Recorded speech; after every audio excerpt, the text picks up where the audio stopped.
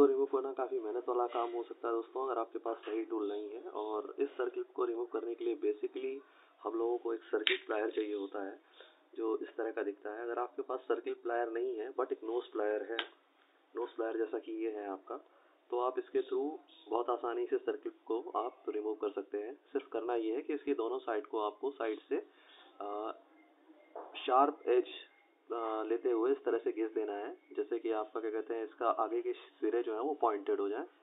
और उसके लिए आपको एक फ़ाइल टूल रिक्वायर्ड होगा, यानी कि शुद्ध हिंदी में इसको बोलते हैं रेती।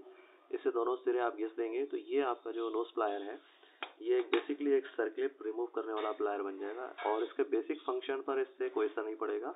और आपकी जो सर्कलिप है, वो आसानी से रिमूव कर सकते हैं आप इससे। एक्सपेंड करके भी और कंप्रेस करके भी।